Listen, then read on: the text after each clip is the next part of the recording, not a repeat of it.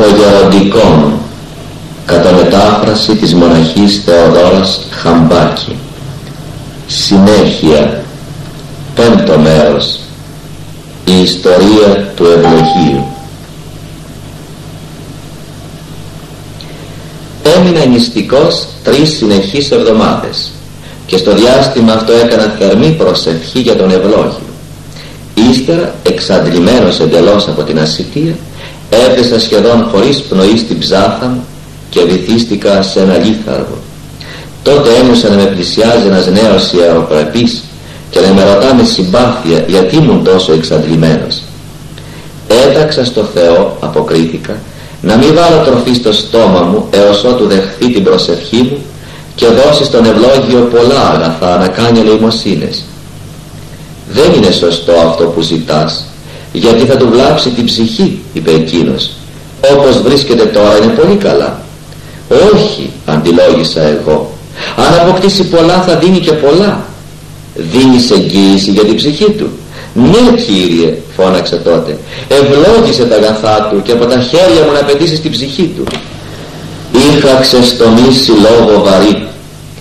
Μου φάνηκε ξαφνικά πως βρέθηκα στα Ιεροσόλυμα στο ναό της Αναστάσεως και είδα τον ίδιο ιεροπραπή νέο καθισμένο επάνω στην πλάκα του Αγίου Τάφου. Δεξιά του στεκόταν ο ευλόγιος. Ήταν κι άλλοι πολύ λαμπροφορεμένοι γύρω. Αυτός είναι που εγγυήθηκε για τον ευλόγιο; τους είπε ο νέος ρίχνοντάς μου. Ναι κύριε είπαν εκείνοι κλείνοντας με σεβασμό την κεφαλή επανάλαβε του πως θα πετήσω οπωσδήποτε την εγγύηση ναι κύριε πρόλαβα να απαντήσω εγώ. Μόνο κάνε αυτό που σου ζητώ. Είδα τότε να πέφτουν σαν βροχή χρυσά νομίσματα στον κόλπο του ευλογίου. Όσο πιο πολλά έπεφταν τόσο δεχόταν εκείνος. Κατάλαβα πως έγινε δεκτή η δέησής μου και από τη χαρά μου ξύπνησα δοξάζοντας το Θεό. Ανίδεος ο λατόμος από το δικό μου ενδιαφέρον για εκείνον πήγε μια μέρα όπως συνήθιζε πριν ακόμη φέξει στη δουλειά του. Πήρε στα χέρια την αξίνα να χτυπήσει μια πέτρα. Άκουσε υπόκοφο κρότο έδωσε δεύτερο χτύπημα.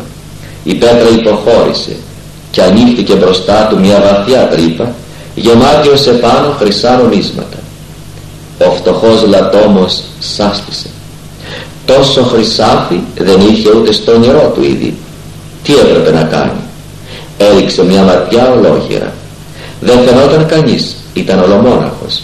Σκέπασε προσεκτικά το θησαυρό και έπεσε σε μεγάλη συλλογή. Αν κρατήσω τόσο χρυσάφι έλεγε στον εαυτό του και εξακολουθήσω να μένω εδώ θα με υποψιαστούν οι άνθρωποι πως το έκλεψα. Θα το μάθει ο έπαρχος και χωρίς αμφιβολία θα με φυλακίσει. Έτσι κινδυνεύω να χάσω και το θησαυρό και την ελευθερία μου πρέπει να φύγω μακριά σε ξένο τόπο που θα είμαι άγνωστος. Αφού πήρε την απόφαση έφερε σακιά από την καλύβα του νίκιασε και ένα ζώο με την πρόφαση πως θέλει να μεταφέρει πέτρα. Κατέβηκε στον ποταμό ναύλωσε πλοίο και έφυγε για την Κωνσταντινούπολη. Την εποχή εκείνη βασίλευε ακόμα ο Ιωστίνος ο γέρον.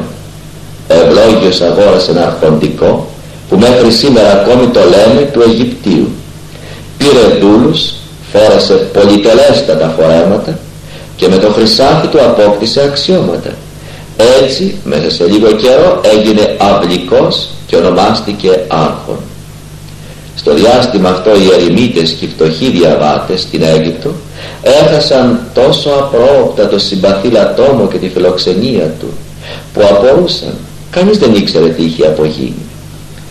Πέρασαν δύο χρόνια από τότε εγώ που στο μεταξύ είχα βρει κάποιο διακονητή να δίνει το εργόχειρό μου δεν έτυχε να κατέβω στην πολιτεία. Έτσι δεν είχα ιδέα πόσα συνέβησαν στον ευλόγιο. Μια νύχτα όμως είδα στον όνειρό μου πως βρέθηκα πάλι στο ναό της Αναστάσεως.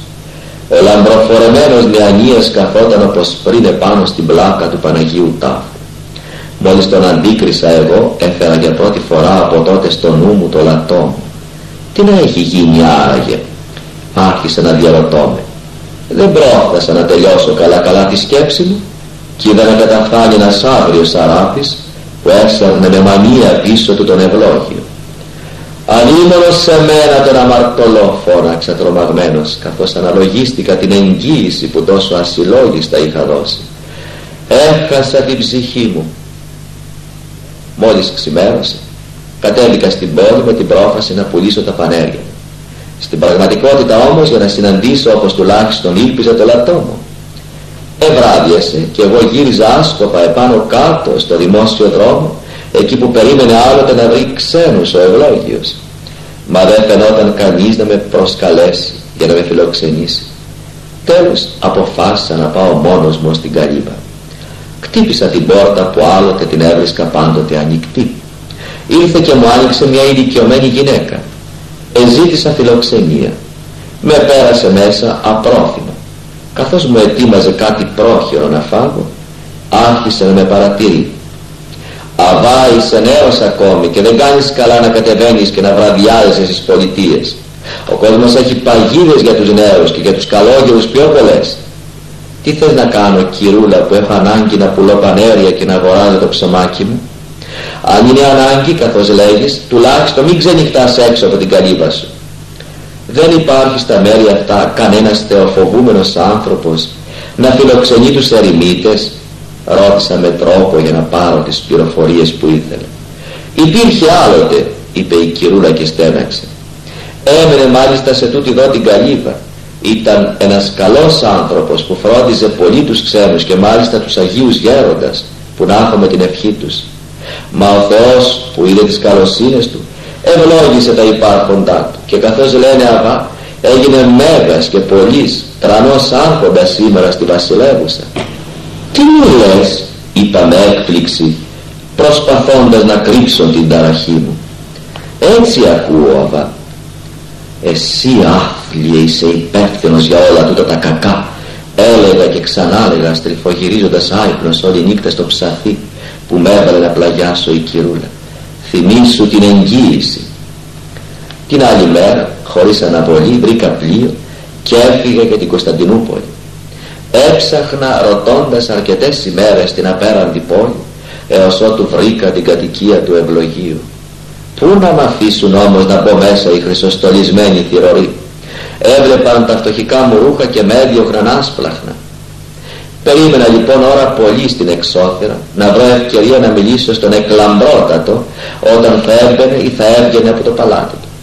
Τέλος τον είδα να βγαίνει με πολλή φαντασία.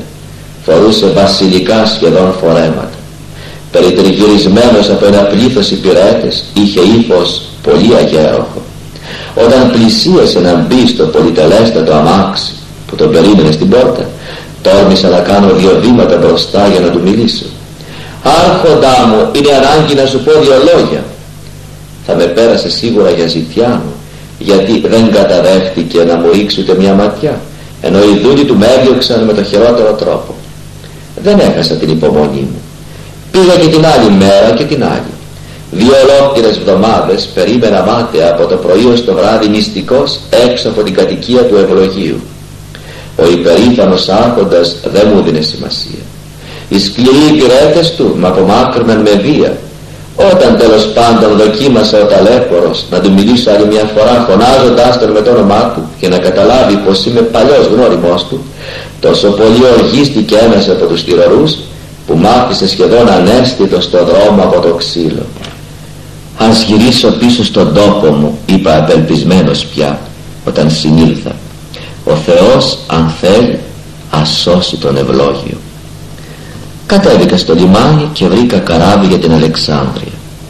Όσο κράτησε σχεδόν το ταξίδι καθώς ήμουν αποκαμωμένος από τόσων ημερών ταλαιπωρία τραυματισμένος ακόμα από τα κτυπήματα του άσπλαχνου θηρορού και υπερβολικά θλιμμένος στη ψυχή έπεσα σε ύπνο βαθύ και πάλι ονειρεύτηκα πως βρέθηκα στην Αγία Πόλη στον τάφο του Χριστού και πάλι ο γνώριμος ιεροπρεπής νεανίας καθόταν στο ίδιο μέρος.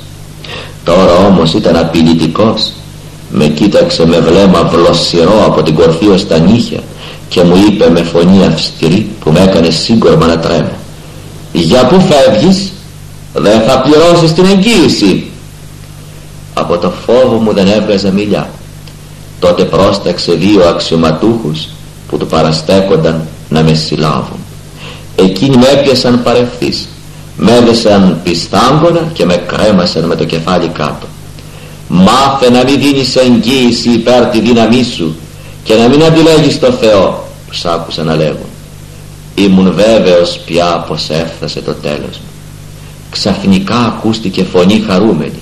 Έρχεται η βασίλισσα και φάνηκε η κυρία του ουρανού και της γης με αφάνταστη μεγαλοπρέπεια δέσποινα του κόσμου βρήκα τη δύναμη να φωνάξω στην απελπισία μου. Ελέησέ με τον αμαρτωλό και σώσε με. Έστρεψε προς το μέρος μου το φιλάνθρωπο βλέμμα της. Τι ζητείς; Τιμωρούμε για την εγγύηση του ευλογίου δέσποινα. Θα με σιτεύσω διεσέ μου είπε με συμπάθεια την είδα να προχωρεί και να γονατίζει εμπρός στον αιανία με τα δύο χέρια υψηλά σε σχήμα οικεσίας. Του ομιλούσε και με το βλέμμα της με έδειχνε. Δεν άκουσα τους λόγους μόνο τη διαταγή που έδωσε εκείνος να με ελευθερώσουν παρευθείς πήγαινε μου είπε και περίμενε να ειδείς πως θα επαναφέρω τον ευλόγιο στην πρώτη του κατάσταση. Σύ όμως μη τολμήσεις να επαναλάβεις άλλη φορά τέτοια άστοχη πράξη. Ξύπνησα ανακουφισμένος.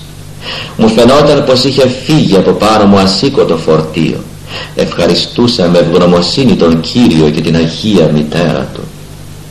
Ύστερα από λίγες ημέρες εγώ έφτασα στο κελί μου. Στην Κωνσταντινούπολη όμως συνέβησαν αυτά τα αναπάντεχα γεγονότα. Ο γέρον Ιωστίνος απέθανε και μερικοί μεγιστάνες μεταξύ των οποίων και ο Ευλόγιος συνομώτησαν εναντίον του νέου αυτοκράτορος. Αλλά η συνωμοσία πολύ γρήγορα ανακαλύφθηκε και όλοι οι ένοχοι εκτός από τον Ευλόγιο συνελήφθησαν και θανατώθησαν. Αυτός πρόλαβε και μεταμφιεσμένος δραπέτευσε στην πατρίδα του την Αίγυπτο.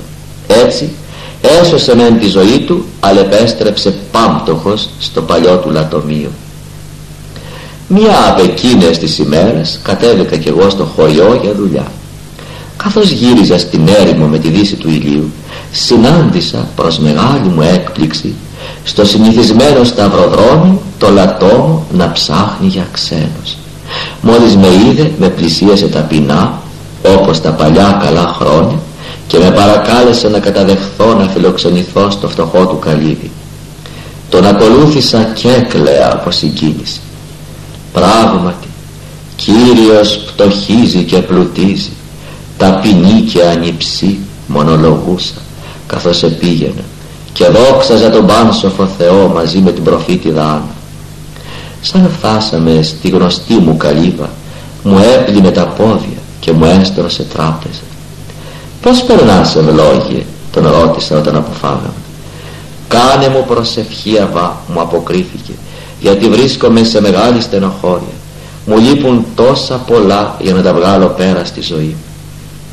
Αναστέναξε βαθιά και έπεσε σε συλλογή. Ήρθε να μην είχες αποκτήσει ποτέ σου εκείνα που σου αφαίρεσαν τη γαλήνη της ψυχής σου του είπα εγώ. Με κοίταξε αρκετή ώρα με απορία γιατί μιλάς έτσι αβά; Μήπως έχω ποτέ σκανδαλίσει; Εγώ τότε του διηγήθηκα σε όλες τις λεπτομέρειες την παραπάνω ιστορία δεν θα ξεχάσω σε όλη μου τη ζωή τα δάκρυα που έχεις εκείνο το βράδυ μαθαίνοντας τις συνταρακτικές μου αποκαλύψεις. Ύστερα εξομολογήθηκε με συντριβή όλες τις αμαρτίες που είχε διαπράξει όταν ήταν άρχοντας στην Κωνσταντινούπολη.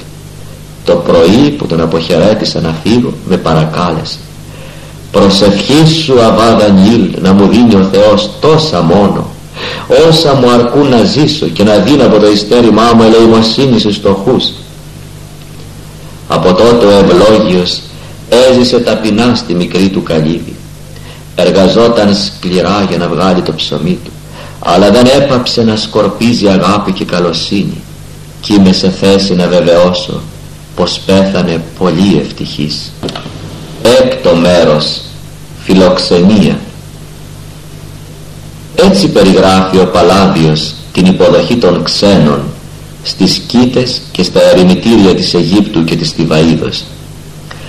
Όταν φτάσαμε από την Παλαιστίνη στην Αίγυπτο επισκεφθήκαμε πρώτα τον Αβά Απόλο. Μόλις έμαθαν τον ερχομό μας βγήκαν με παράταξη οι μοναχοί της συνοδείας του να μας προϋπαντήσουν. Σαν έφτασαν κοντά μας έβαλαν μετάνια και μας χαιρέτησαν. Ύστερα με παράταξη πάλι οι γεροντότεροι εμπρός, οι νεότεροι πίσω και εμείς στη μέση μας οδήγησαν στα κελιά. Εκεί μας περίμενε ο προεστός. Όταν μας είδε έβαλε πρώτο σε δαφιαία μετάνια και μας ασπάστηκε. Μας επήγε στο κελί του και αφού έκανε τη συνηθισμένη για αυτές τις περιστάσεις προσευχή μας έβαλε να καθίσουμε. Ο ίδιος έφερε νερό και μας έπλυνε τα πόδια και ευθύς αμέσως μας οδήγησε στην τράπεζα όπου μας περίμενε λιτό μεν αλλά καλοπεριποιημένο φαγητό. Τέτοια υποδοχή έκανε σε όλους τους μοναχούς και ιερωμένους που τον επισκέπτονταν.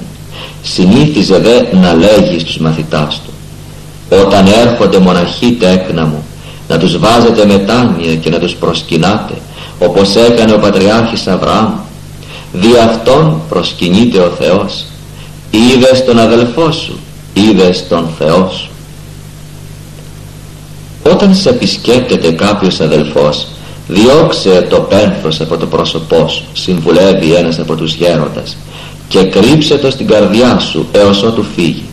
Μετά φέρε το πάλι γιατί όταν σε βλέπουν με αυτό οι δαίμονες φοβούνται να σε πλησιάσουν. Άλλος γέρον δίνει την εξής συμβουλή όταν αντιληφθείς πως σου έρχονται επισκέπτες πριν κτυπήσουν την πόρτα σου προσευχήσου με αυτά τα λόγια στο Θεό. Κύριε προφύλαξε όλους μας από την κατάκριση και την κακογλωσσιά και κάνε να φύγουν από εδώ οι αδελφοί μου ειρηνικοί και ωφελημένοι κάποτε οι πατέρες της Κίτης έδωσαν εντολή να κρατήσουν νηστεία οι αδελφοί μια εβδομάδα δηλαδή να μην βάλουν τίποτα στο στόμα τους ούτε νερό. Συνέβη όμως εκείνες τις ημέρες να επισκεφθούν τον Αβά Μωυσή τον Αιθίωπα μοναχή από την Αίγυπτο. Ο φιλόξενος Μωυσής έψησε φακές για να τους περιποιηθεί. Όταν είδαν καπνό να βγαίνει από την καλύβα του μερικοί όχι τόσο ενάρετοι αδελφοί είπαν στους γέροντες ο Μωυσής περιφρόνησε την προσταγή σας και ψήνει φαγητό την Κυριακή που μαζεύτηκε στην εκκλησία όλη η σκήτη ο πρεσβύτερος που γνώριζε τη μεγάλη αρετή του Οσίου όταν πλησίασε να πάρει αντίδωρο του είπε δυνατά για να ακουστεί από όλους. Έβγε αβά Μωυσή γιατί παρέβεις μεν την εντολή των ανθρώπων εφύλαξες όμως του Θεού την εντολή ένας αρχάριος μοναχός πήγε να συμβουλευτεί τον Αβά Πιμένα ήταν το μέσον περίπου της Μεγάλης Τεσσαρακοστής. Αφού εξομολογήθηκε τους λογισμούς του και η ψυχή του αναπαύτηκε είπε στον Όσιο παρολίγο δεν θα αποφάσιζα να έλθω εδώ σήμερα και θα έχανα τόση ωφέλεια. Γιατί τέκνο μου ερώτησε Όσιος μου έλεγε ο λογισμός πως δεν θα με δεχόσουν Αβά επειδή είναι τεσσαρακοστή εμείς εδώ τέκνον είπε ο Αβάς Πιμήν δεν συνηθίζομαι την τεσσαρακοστή να κλείνω με εκείνη τη μικρή ξύλινη εξώπορτα αλλά τούτη και έβαλε το δάκτυλο στα χείλη Δύο ξένοι μοναχοί επισκέφτηκαν κάποιο γέροντα μια νηστίσιμη μέρα. Εκείνος τους υποδέχθηκε πρόθυμα και τηρώντας τον κανόνα της φιλοξενίας έφαγε μαζί τους το τραπέζι. Κατόπιν τους εξήγησε πως η νηστή έχει μεν το μισθό της, αλλά εκείνος που καταλύει χάρη των φιλοξενουμένων του λαμβάνει δύο μισθούς.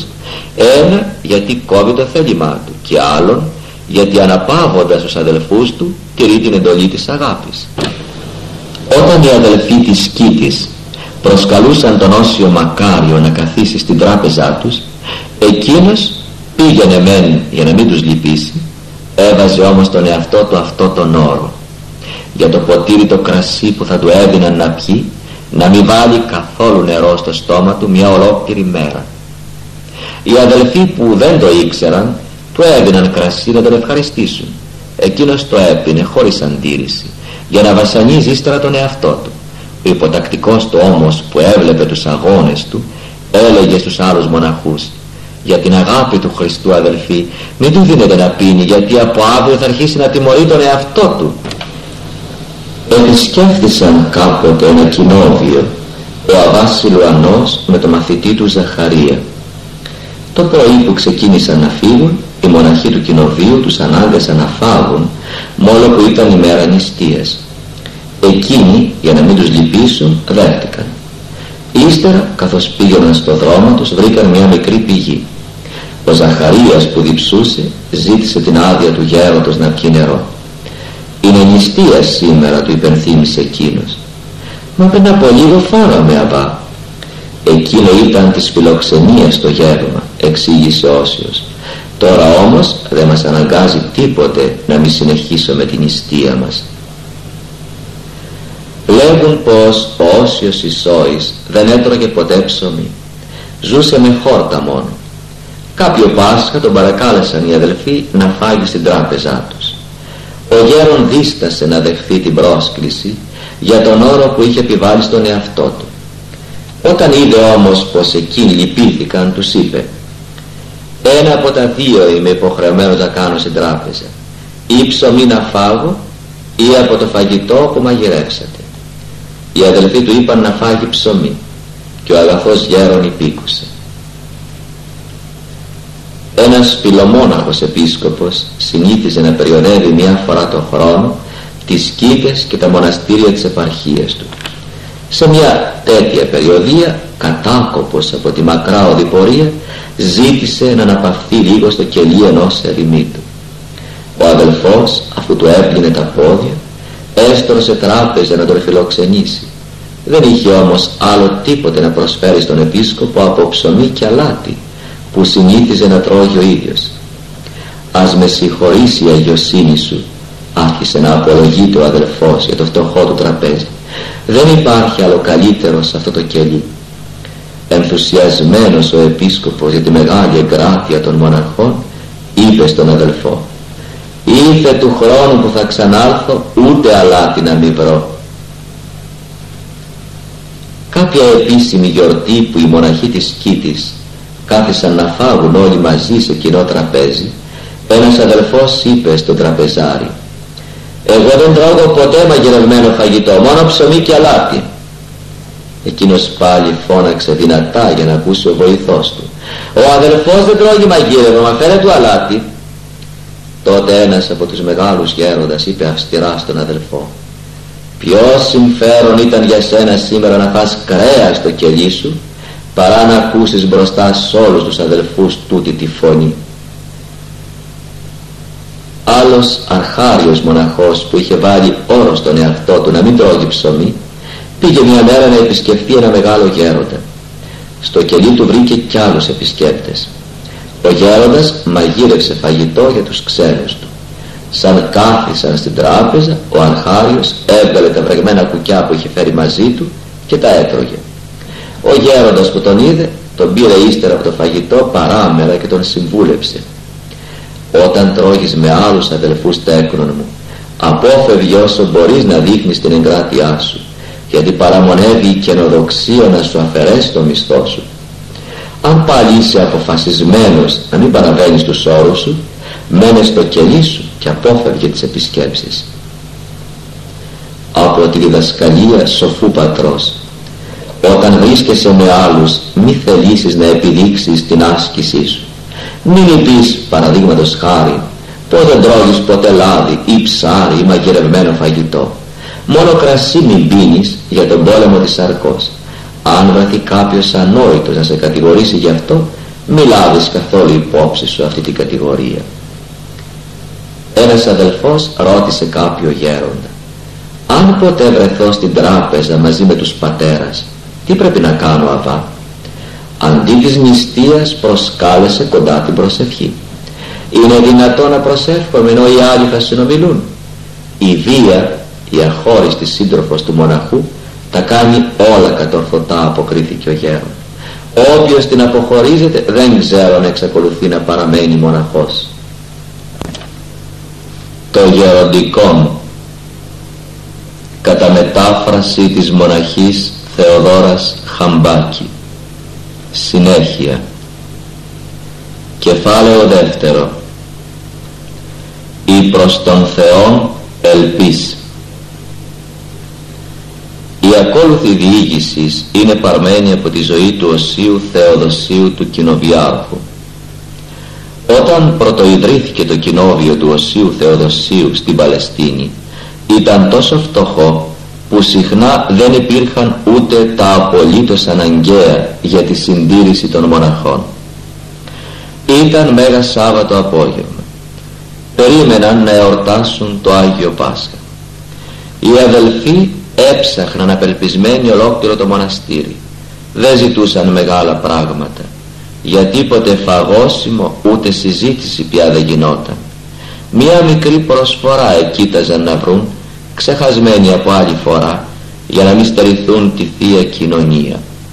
Αδύνατο να ανακαλύψουν και εδώ στέρησης συλλογίζονταν. Το είπαν στο γέροντά τους, στον Όσιο Θεοδόσιο. Τους άκουσε με απόλυτη ηρεμία, σαν να συνέβαιναν όλα αυτά σε ξένη περιοχή. Ούτε την ανησυχία τους φαινόταν να συμμερίζεται ο ουράνιος εκείνος άνθρωπος και διαταγή έδωσε να είναι έτοιμο για την νυχτερινή λειτουργία το Άγιο Βήμα, ακόμη και η τράπεζα για το πασχαλινό γεύμα. η παρηγοριά, ψιθύρισαν μερικοί. Όσιος έκανε πως δεν άκουσε. Μήπως έγινε ασθενέστερος στη δύναμη ή ατονότερος στο να χορηγεί και σήμερα εκείνος που έφρεψε με το μάνα ολόκληρο λαό στην έρημο και χόρτασε τόσο πλήθος με πέντε ψωμιά; Εθαύμαζαν οι μοναχοί την πεποίθηση του ηγουμένου τους μα δεν κατόρθωσαν να τη συμμεριστούν. Βασίλευε ο ήλιος όταν κτύπησε την πόρτα του μοναστηριού κάποιος άγνωστος μαζί του έφερε δύο καμήλες φορτωμένες. Πήγαινα μια μικρή δωρεά σε κάποια σκήτη λίγο πιο πέρα από το μοναστήρι σας εξήγησε στους αδελφούς μα μόλις έφτασα εδώ τα ζώα μου σταμάτησαν και με κανένα τρόπο δεν μπορούσα να τα κάνω να προχωρήσουν βήμα. Λέγω μήπως θέλει ο Θεός να αφήσω σε εσάς αυτά τα λίγα τρόφιμα. Λίγα τρόφιμα. Αυτά έφτασαν ως την πεντηκοστή και πέρα ακόμη. Ούτε προσφορές έλειπαν για τη Θεία Λειτουργία από την ανέλπιστη δωρεά. Πολύ μεγάλη ελπίδα έλεγαν μεταξύ τους οι καλόγεροι του Οσίου Θεοδοσίου και ευλαβούντο τον Άγιο Γέροντά τους που τον στόλιζε κι αυτή. Να τη συμβουλεύει τους μοναχούς ο μεγάλος τους διδάσκαλος Όσιος Εφραίμος Σύρος. Αδελφέ, αν συμβεί να αρρωστήσεις μη γράφεις ποτέ στους συγγενείς ή στους γνωστούς και φίλους σου να σου στείλουν φάρμακα ή τρόφιμα γιατί μαθαίνεις έτσι να καταφεύγεις στην ανθρώπινη προστασία σε νεκρή με άλλα λόγια βοήθεια. Στήριξε στο Θεό τις ελπίδες σου. Υπόμενε περιμένοντας το έλεος του να σε κυβερνήσει σε όλα. Εκείνος που επέτρεψε για ψυχική σου ωφέλεια να αρρωστήσεις να είσαι βέβαιος πως θα προνοήσει για σένα. Δεν θα επιτρέψει ποτέ το λέγει η Γραφή να δοκιμάσεις πιο μεγάλο πειρασμό από όσο έχεις δύναμη να σηκώσεις. Φρόντισε λοιπόν να αρέσεις αυτόν που μεριμνά για σένα. Εγνώρισα αδελφό διηγείται ο ίδιος Όσιος Εφραίμ που ενώ αρρώστησε και υπέφερε πολύ τον ανάγκαζαν οι άλλοι να εργάζεται. Τόση σωματική εξάντληση αισθανόταν που μόνος στο κελί του έκλαιγε με πόνο και παρακαλούσε το Θεό να του χαρίσει την υγεία του. «Κύριέ μου», έλεγε, «γνωρίζω πως η αρρώστια του σώματος μου δόθηκε για θεραπεία της ψυχής μου, αλλά για να μην γίνω με βάρος τους αδελφούς μου, σε παρακαλώ φιλάνθρωπε, θεράπευσε την ψυχή και το σώμα μου». Κάθε μέρα προσήφιε κατά αυτόν τον τρόπο και εργαζόταν σκληρά χωρίς να παραπονείται. Και ο Θεός που έβλεπε τον ευλαβή μοναχό να μην χάνει την ελπίδα του του χάρισε την υγεία του. Οι Άγιοι λέγει κάποιος από τους γέροντες επειδή έχουν πάντοτε στην καρδιά τους το Θεό και τα εδώ κερδίζουν με την απάθεια και τα εκεί κληρονομούν διότι και εκείνα και αυτά στο Θεό ανήκουν. Αφού λοιπόν κατέχουν το Θεό έχουν κι όλα τα δικά του.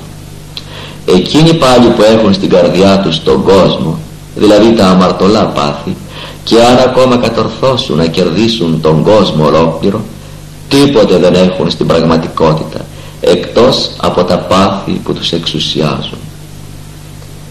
Αν όντως πιστεύεις πως ο Θεός είναι παντοδύναμος και αληθινός λέγει ο Αβάς ευπρέπειος στήριζε σε Αυτόν μόνο την ελπίδα σου και να είσαι βέβαιος πως θα κληρονομήσεις τα αγαθά Του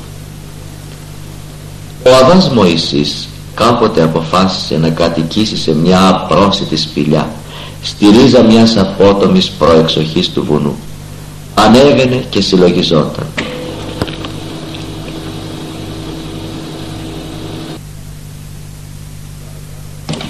Καλά όλα τα άλλα μα πού θα βρίσκω νερό σε τούτο το ξερότοπο; Το έλεγε και το ξανάλεγε και άρχισε να κλονίζεται τότε άκουσε φωνή να του λέγει προχώρη αμέριμνος και άφησε αυτή τη φροντίδα σε μένα πήρε θάρρος και έκανε κατοικία του το σπήλαιο.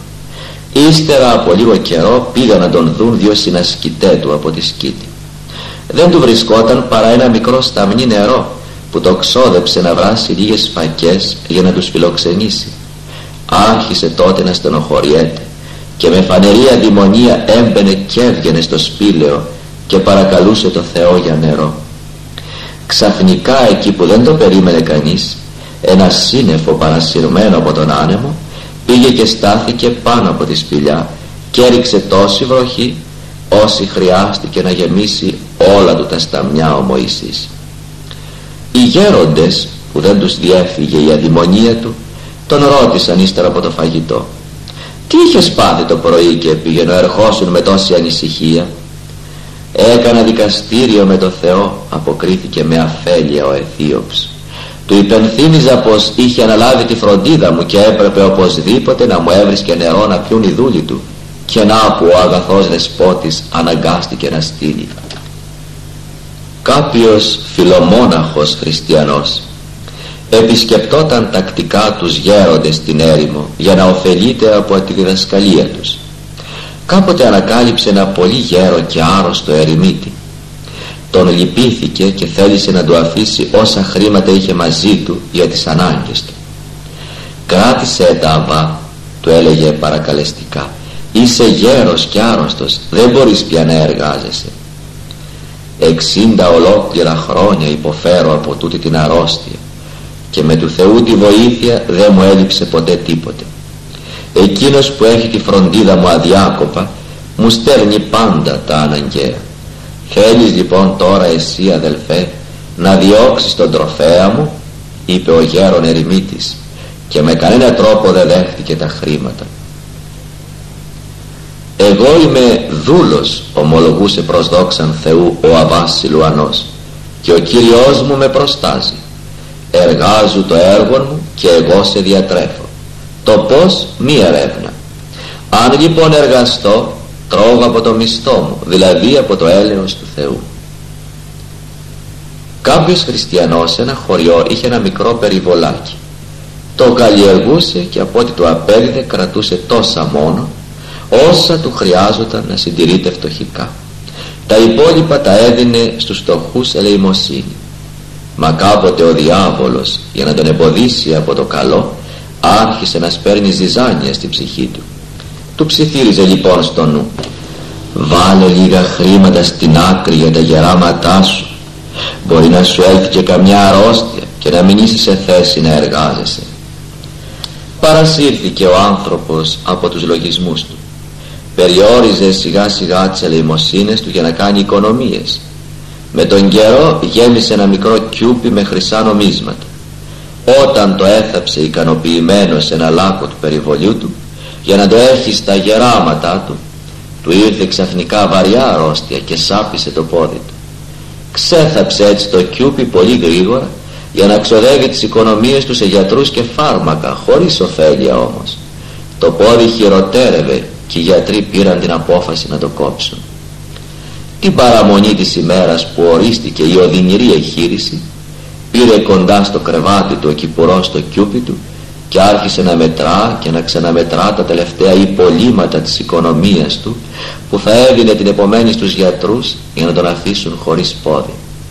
Είχε τώρα πικρά μετανοήσει που στήριξε πιο πολύ τις ελπίδες του στα χρυσά νομίσματα παρά στον Κύριό του και τον παρακαλούσε μόλι του την ψυχή να τον συγχωρήσει. Καθώς προσευχόταν και έκλαιε παρουσιάστηκε μπροστά του Άγιος Άγγελος. Τα χρήματα που σύναξες στερώντας τα από τους φτωχούς σου χρησιμεύσαν σε τίποτα τον ρώτησε με αυστηρή φωνή. Όχι Κύριέ μου αναγνωρίζω πως έσφαλα. Ω αν τύχω συγγνώμης δεν θα ξαναπέσω στο ίδιο σφάλμα. Μόνο η ελπίδα στο Θεό είναι σταθερή και βεβαία φώναξε ο δυστυχής μόνο τον πόνο της ψυχής του. Τότε ο αγαθός άγγελος άγγιξε το πονεμένο πόδι και παρευθύς το έγινε το πρωί που πήγαν οι γιατροί με τα χειρουργικά τους εργαλεία να τον ακροτηριάσουν τον βρήκαν υγιέστατο να σκάβει το μικρό του περιβόλι. Κεφάλαιον τρίτο πίστη προς το Θεό ο Όσιος Βενιαμίν ησυχαστής το όρος της νητρίας είχε μεγάλη αφοσίωση και πίστη στο Θεό. 80 χρόνια έζησε στην έρημο με προσευχή και άσκηση και αξιώθηκε να λάβει χαρίσματα πνευματικά να διώχνει πονηρά πνεύματα και να θεραπεύει όλες τις αρρώστιες. Λίγους μήνες πρωτού φύγει από τον κόσμο αυτός ο Όσιος έπαθε υδροπικία τόσο πολύ διονγκώθηκε το σώμα του που ήταν θέαμα φρικτό. Οι αδελφοί που τον επισκέπτονταν γύριζαν αλλού το πρόσωπο γιατί τους έπιανε υποψυχία να τον βλέπουν. Αντί λοιπόν να τον ανακουφίζουν και να τον παρηγορούν τον άκουγαν να τους στηρίζει με αυτά τα λόγια. Προσεύχεστε αδελφοί μου να μην υδροπικιάσει ο μέσα άνθρωπος. Το σώμα τούτο ούτε όταν έφαλε πρόσφερε καμία ωφέλεια στην ψυχή ούτε τώρα που πάσχει έχει τη δύναμη να την βλάψει. Και το σπουδαιότερο ενώ ο ίδιος υπέφερε από αφόρητους πόνους εξακολουθούσε μέχρι την τελευταία του πνοή να θεραπεύει τους αρρώστους που του πήγαιναν στο κελί του.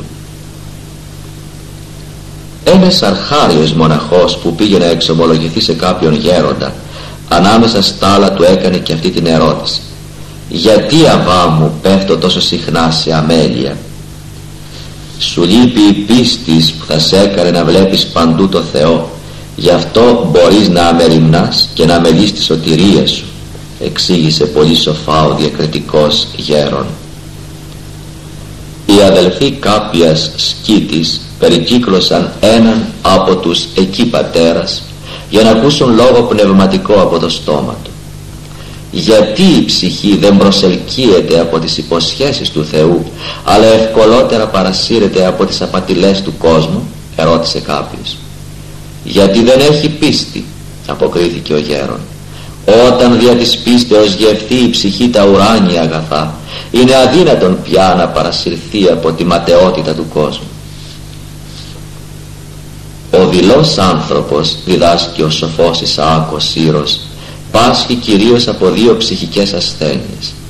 Από λιγοπιστία και από φιλοσοματία όποιος αγωνίζεται να νικήσει αυτά τα δύο μεγάλα κακά είναι φανερό πως πιστεύει ολόψυχα στο Θεό και είναι έτοιμος να δεχθεί όλα τα δυσάρεστα που τυχόν εκείνος θα παραχωρήσει.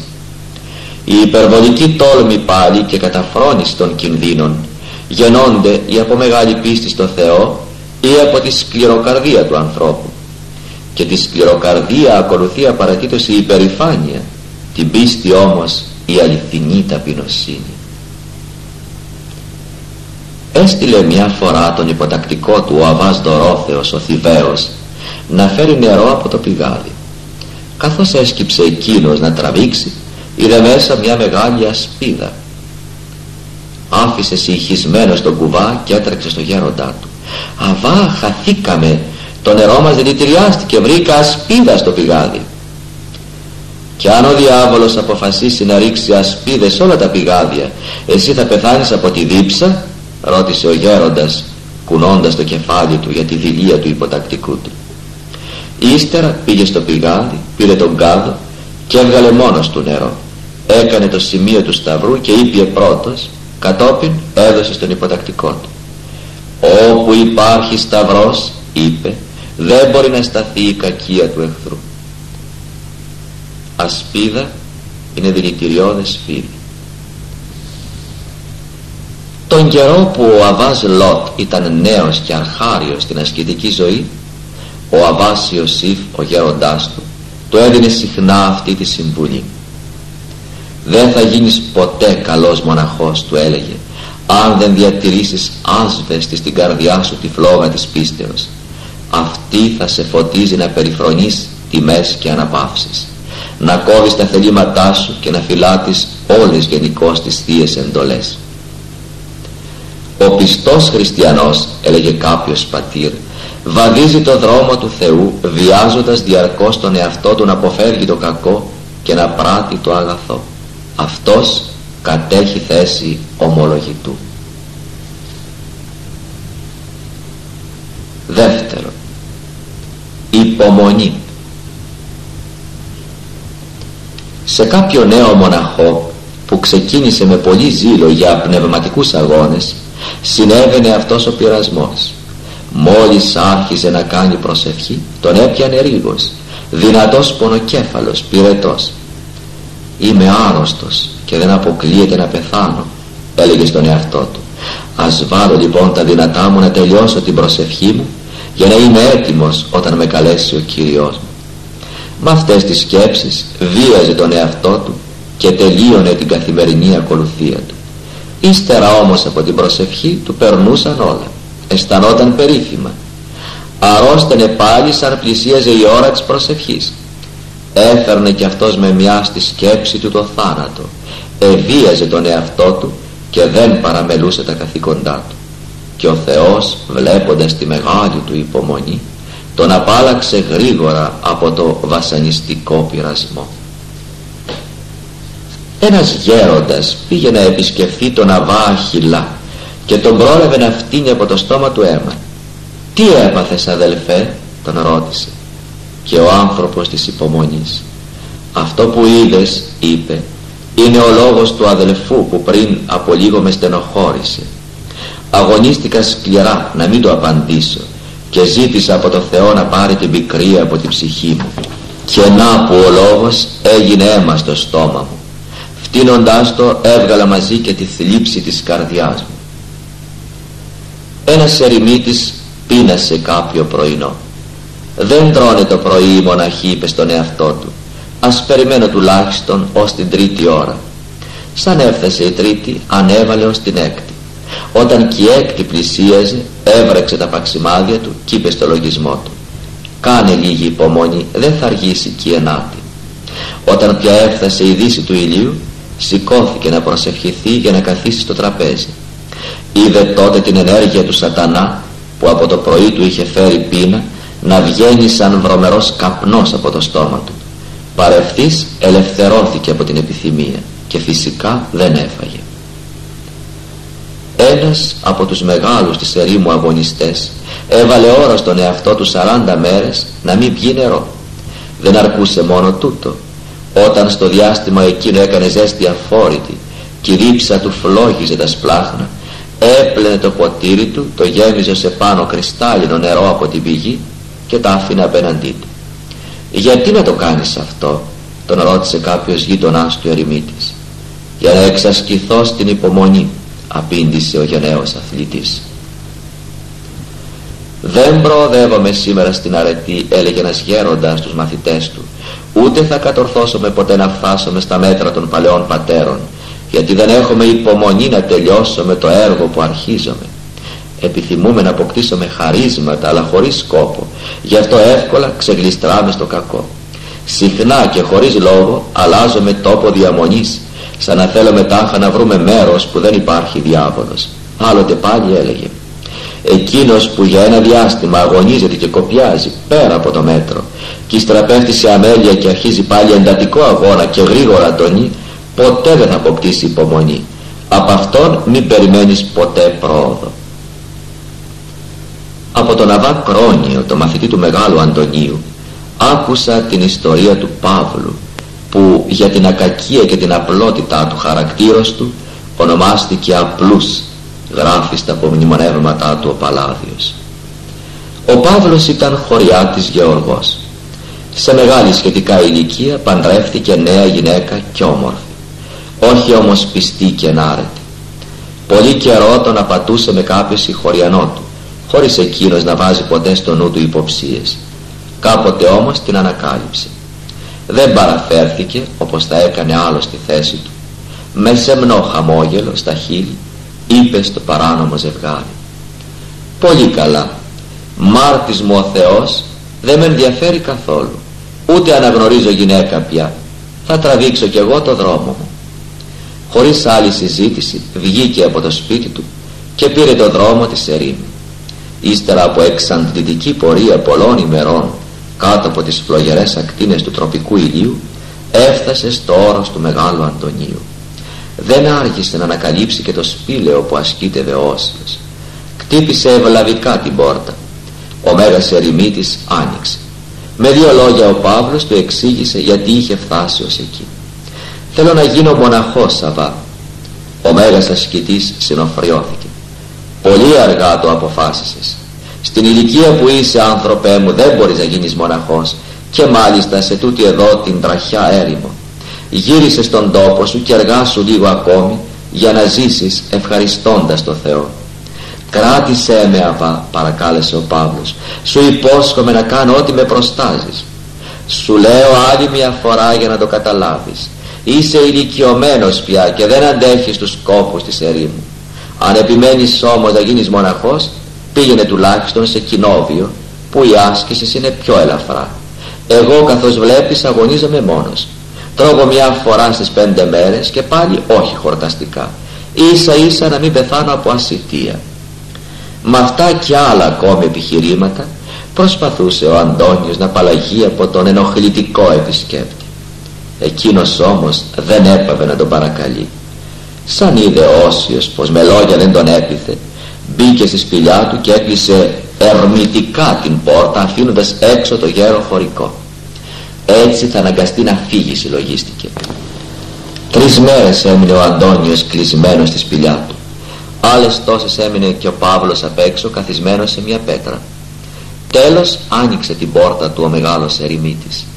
Κατάπληκτος βρήκε τον Παύλο στο ίδιο μέρος να περιμένει υπομονετικά τον θαύμασε, τον ευλαβήθηκε μα δεν θέλησε να δείξει ευθύς πως υποχωρεί.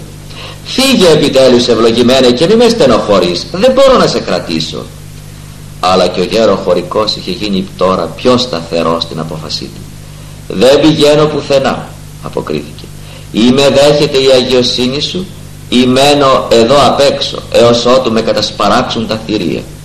Και δώσε τότε εσύ λόγο στο Θεό Αβά ο Αντώνιος δεν περίμενε ποτέ τόση αποφασιστικότητα από ένα ανάπηρο γέροντα.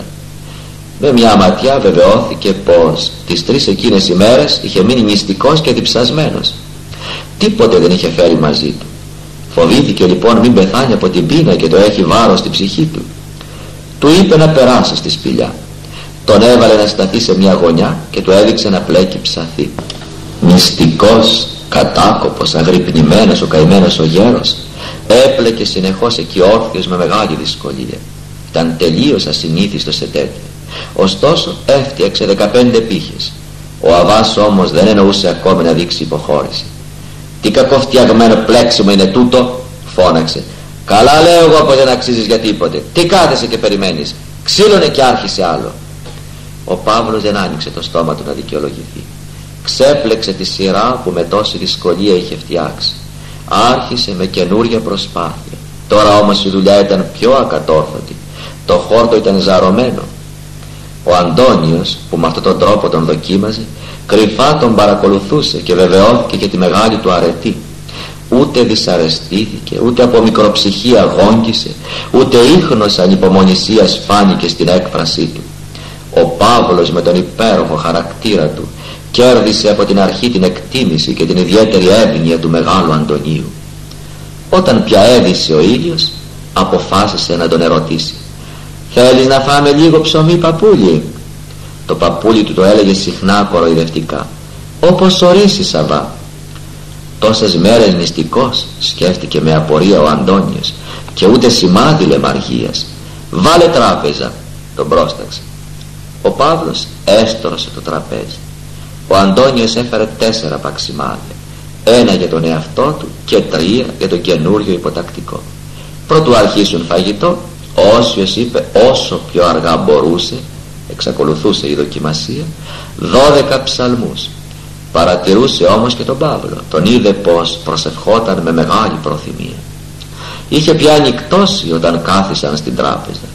Ο Αντώνιος τελείωσε με το παξιμάδι γρήγορα και περίμενε τον Παύλο που έτρωγε πιο αργά. Αλλά και εκείνος έφαγε ένα και σταμάτησε. Φάγε παππούλι και τα άλλα παξιμάδια είπε ο Όσιος. Αν φάγεις άλλο εσύ θα φάγω κι εγώ. Σε μένα αρκεί ένα είμαι μοναχός τότε αρκεί και σε μένα είπε ο Παύλος. Και εγώ θέλω να γίνω μοναχός μετά το δείπνο είπε ο Αντώνιος τους συνηθισμένους 12 ψαλμούς και 12 ευχές και πήγαν να παθούν λίγο για να σηκωθούν πάλι τα μεσάνυχτα να συνεχίσουν την προσευχή τους ως το πρωί. Όταν είδε ο Όσιος πως ο γέροντας τον μιμήθηκε σε όλα με ζήλο νεανικό ύστερα από μερικές εβδομάδες του είπε πιστεύω αδελφέ να κατάλαβες τώρα καλά πως πολιτεύομαι εδώ στην έρημο. Αν νομίζεις πως μπορείς να κάνεις την ίδια ζωή μείνε μαζί μου. Δεν ξέρω αν έχεις να μου δείξεις τίποτε περισσότερο αργότερα απα αποκρίθηκε ο Παύλος. Αυτά που είδα ως σήμερα τα κάνω με ευκολία. Έτσι ο Όσιος τον έκανε καλόγερο τον βοήθησε να φτιάξει μια δική του καλύβα από καλάμια σε κάποια απόσταση από το σπήλαιο. Τώρα με τη βοήθεια του Θεού έγινες πια καλόγερος του είπε. Μείνε λοιπόν μόνο στην καλύβα σου για να δοκιμάσεις και των δαιμόνων τους πειρασμούς. Έτσι θα γίνεις πιο γενναίος και πιο έμπειρος στους πνευματικούς αγώνες ο απλοϊκός γέροντας αγωνίστηκε αλήθεια πολύ σκληρά. Με την υπομονή του όμως και την ταπεινοσύνη του κατόρθωσε να φτάσει σε μεγάλα μέτρα αρετής και να πάρει πολλά χαρίσματα από το Θεό να θεραπεύει ψυχικές και σωματικές αρρώστιες και να διώχνει τα πονηρά πνεύματα. Κάποτε οδήγησαν οι γονείς του ένα νέο που βασανιζόταν από φοβερό δαιμόνιο στο σπήλαιο του Μεγάλου Αντωνίου και τον παρακαλούσαν να τον θεραπεύσει. Ο Όσιος τους έστειλε στον Αβά Παύλο εκείνος είπε έχει πάρει το χάρισμα από το Θεό να διώχνει αρχικά πνεύματα για να μην αρνηθεί ο Παύλος πήγε μόνος του στην καλύβα Όσιος. Αβά Παύλε του είπε ελευθέρωσε το πλάσμα του Θεού από του σατανά την εξουσία για να ευγνωμονεί τον Κύριο σε όλη του τη ζωή εσύ γιατί δεν τον θεραπεύεις πάτερ; ρώτησε με απορία ο Παύλος. Δεν εύκαιρο τώρα δικαιολογήθηκε ο Αντώνιος και έφυγε βιαστικά ο απλούς Παύλος κοίταξε με συμπάθεια το βασανισμένο νέο. Έκανε μέσα του θερμή προσευχή και είπε στο δαιμόνιο ο Αβάς Αντώνιος σε προστάζει να φύγεις από τον άνθρωπο και να μην τον ξαναενοχλήσεις το δαιμόνιο αγρίεψε και με τρομακτικές κραυγές έβριζε τον Αντώνιο. Ο Παύλος έβγαλε τη μιλωτή που του είχε χαρίσει ο Όσιος και χτυπώντας με αυτή τον άρρωστο ελαφρά στην πλάτη εξακολουθούσε να λέει ο Αβάς μου σε προστάζει να φύγεις από τον άνθρωπο το πονηρό πνεύμα. Όχι μόνο δεν εννοούσε να υπακούσει αλλά έγινε τώρα πιο επιθετικό. Χαλούσε τον κόσμο από τις φωνές και το θόρυβο. Αλλά και ο Παύλος θύμωσε πιο πολύ μαζί του. Ανέβηκε σε μια μεγάλη πέτρα κάτω από τον ανυπόφορο ήλιο του καλοκαιριάτικου μεσημεριού και προσευχήθηκε με αυτά τα απλά αλλά γεμάτα πίστη λόγια στο Θεό. Κύριε γνωρίζεις πως πήρα την απόφαση να μην κατέβω από τούτη την πέτρα αν δεν ελευθερώσεις το πλάσμα σου από την εξουσία του διαβόλου αυτή η προσευχή έφερε αποτέλεσμα. Το πονηρό πνεύμα φώναξε σαν να μαστιγωνόταν από αόρατη δύναμη. Φεύγω, φεύγω με νίκησε η προσευχή του Παύλου με αυτά τα λόγια ελευθέρωσε τον άνθρωπο από τη βασανιστική του εξουσία ο Όσιος Εφρέμος Σύρος συμβουλεύει τους πνευματικούς πατέρες να μην εμποδίζουν την προθυμία των ηλικιωμένων ανθρώπων όταν ειλικρινά αποθούν τη μοναχική ζωή. Μην εξουθενώνεις τους γέροντες όταν επιθυμούν και προθυμοποιούνται να αναλάβουν τους σκόπους της ασκήσεως. Ούτε ο Κυριός μας κατεφρόνησε τους εργάτες της ενδεκάτης. Ποιος ξέρει αν κάποιος από αυτούς δεν είναι σκεύος εκλογής; Κάποιος νέος που είχε στη ψυχή του θερμό πόθο να γίνει μοναχός άφησε τον κόσμο και προχώρησε βαθιά στην έρημο αναζητώντας πνευματικό οδηγό για να υποταχθεί. Διέκρινε τέλος πάντων από μακριά μέσα σε εκείνη την αχανή έρημο ένα κελί με ένα πυργάκι. Όποιον βρω στον πύργο είπε στον εαυτό του θα μείνω κοντά του και θα τον υπηρετήσω σε όλη μου τη ζωή έφτασε κατάκοπος χτύπησε την πόρτα και του άνοιξε ένας ηλικιωμένος καλόγερος. Τι γυρεύεις αδελφέ τον ρώτησε απρόθυμα. Έχω κάποιο τάξιμο αποκρίθηκε εκείνος και γι' αυτό έφτασα ως εδώ. Είχε πια ανοιχτώσει ο καλόγερος αναγκάστηκε να βάλει μέσα το παλικάρι για να μην κινδυνεύσει εκείνη την άγρια ερημιά. Σκοπεύεις να βρεις γέροντα τον ρώτησε καθώς του ετοίμαζε κάτι πρόχειρο να φάει. Όχι είπε ο νέος. Ήλθα αποφασισμένος να μείνω εδώ μαζί σου η σταθερή απάντηση του παλικαριού κατατάραξε το γέρο μοναχό. Αυτό θα έλειπε τώρα να μαζευτούν παρήσακτοι στο κελί του. Ο δυστυχισμένος είχε από καιρό παραστρατήσει και συζούσε με γυναίκα της αμαρτίας. Για να απαλλαγεί από τον ενοχλητικό επισκέπτη δεν δίστασε να του πει αν θέλεις να ακούσεις τη συμβουλή μου νεαρέ ψάξε να βρεις μοναστήρι να μείνεις. Εγώ δεν μπορώ να σε κρατήσω. Έχω γυναίκα είτε γυναίκα έχεις είτε αδελφή είναι δικό σου λογαριασμό Σαββά. Εμένα αυτό δεν με ενδιαφέρει καθόλου. Εγώ υποσχέθηκα στον Κύριό μου καθώς ερχόμουν πως θα μείνω κοντά σου και μέχρι θανάτου να σε υπηρετώ εξήγησε ο νέος. Έτσι και έγινε. Αρκετό καιρό υπηρετούσε μόλι του την προθυμία και με απονήρευτη καρδιά το παράνομο ζευγάρι. Όσο όμως το παλικάρι φρόντιζε για την ψυχή του τόσο η συνείδηση των άλλων επαναστατούσε δεν μας αρκεί η αμαρτία μας έλεγαν μεταξύ τους. Τώρα θα είμαστε υπόλογοι και για την ψυχή του του εδώ. Ας φύγουμε και σταθήσουμε το κελί. Μια νύχτα λοιπόν ξεκίνησαν κρυφά να φύγουν. Δεν είχαν όμως προχωρήσει πολύ σαν είδαν τον νέο να τρέχει λαχανιασμένος να τους προφτάσει. Πήρε είδηση πως φεύγανε. Μέχρι πότε θα μας καταδικάζεις με την παρουσία σου του είπαν ταραγμένοι όταν πλησίασε. Κράτησε το κελί και κοίταξε να σώσεις την ψυχή σου. Άφησε και εμάς ήσυχους εγώ δεν ήρθα εδώ για το κελί αβά είπε λυπημένος τον καλόγερο αδελφός. Αλλά για να υπηρετήσω εσένα όπως υποσχέθηκα στον Κύριό μου θα σε ακολουθήσω όπου και αν πας. Η απόκριση του αδελφού έφερε συντριβή στον παραστρατημένο γέροντα. Η αγιότητα του νέου του έδειξε καθαρά το βούρκο που είχε πέσει. Έδιωξε παρευθύ στην αμαρτωλή γυναίκα που και εκείνη είχε αρχίσει να μετανοεί και γύρισε στο κελί του καινούριο άνθρωπος με την υπομονή του ο νέος έσωσε δύο ψυχές. Ο Αβάς Ναθαναήλ πρωτοβγαίνοντας στην έρημο νέο στην ηλικία και αρχάριο στη μοναχική πολιτεία βρήκε μια σπηλιά σε ένα απόκριμνο βράχο. Γεμάτο ζήλο και ενθουσιασμό για άσκηση έμεινε εκεί να αγωνίζεται μόνος. Γρήγορα όμως απόκαμε από την τραχύτητα του τόπου και τις πολλές στερήσεις. Περνούσε εβδομάδες ολόκληρες χωρίς ψωμί και νερό αποφάσισε τέλος να αφήσει το σπήλαιο και να μείνει σε πιο ήμερο τόπο. Έφτιαξε μια καλύβα στη σκήτη των πατέρων για να ζήσει πιο κοντά σε αυτούς. Την πρώτη νύχτα που εγκαταστάθηκε στη νέα του διαμονή αναστατώθηκε κυριολεκτικά από ένα ασυνήθιστο θόρυβο στη στέγη της καλύβας. Χαλούσε ο κόσμος από τα χτυπήματα. Ανήσυχος βγήκε να δει τι συνέβαινε μπροστά του στεκόταν ένα απέσιο υποκείμενο. Φορούσε παλιά χιλιομπαλωμένη στρατιωτική στολή και κρατούσε στα χέρια του ένα πελώριο τσεκούρι. Με αυτό φαίνεται θα προξενούσε όλη αυτή τη φασαρία. Ποιος είσαι του λόγου σου που δεν με αφήνεις να ησυχάσω τέτοια ώρα ρώτησε ο Αβάς. Δεν με γνώρισες ακόμη είπε εκείνος με ένα αποκρουστικό γέλιο που έφερνε ένα τριχύλα.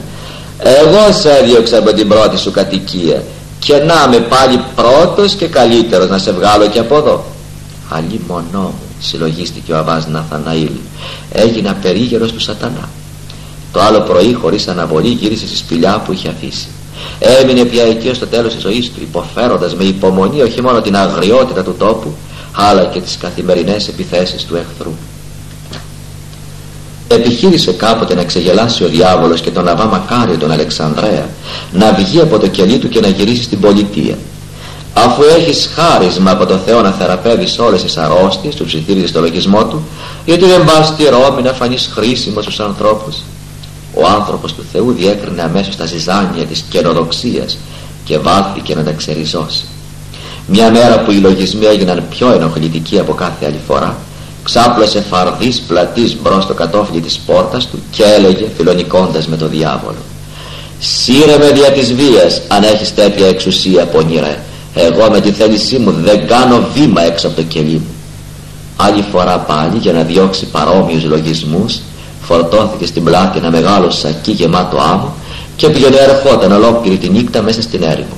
«Τι κάνεις αυτού Αβά» τον ρώτησε ο γείτονάς του Αβάς Θεοσέβιος που έτυχε να τον συναντήσει. «Ξεγελώ εκείνον που προσπαθεί να με ξεγελάσει» αποκρίθηκε όσιος «ενώ έχω βρει εδώ την ησυχία μου με ξεσηκώνει για ταξίδια». Με τον αγώνα και την υπομονή του απομάκρυνε εντελώς τους ενοχλητικούς λογισμούς. Ένας αρχάριος μοναχός που είχε πέσει σε αμέλεια πήγε στον Αβά Μάρκο τον ασκητή να εξομολογηθεί. Μου λέγει ο λογισμός Αβά να σηκωθώ να φύγω από το κελί μου γιατί και που κάθομαι σε αυτό δεν κατορθώνω τίποτε. Απάντησέ του, τον συμβούλεψε ο διακριτικός γέρον, πως για χάρη του Χριστού θα μείνω σε αυτό όλη μου τη ζωή και θα φυλάω τους τέσσερους τείχους.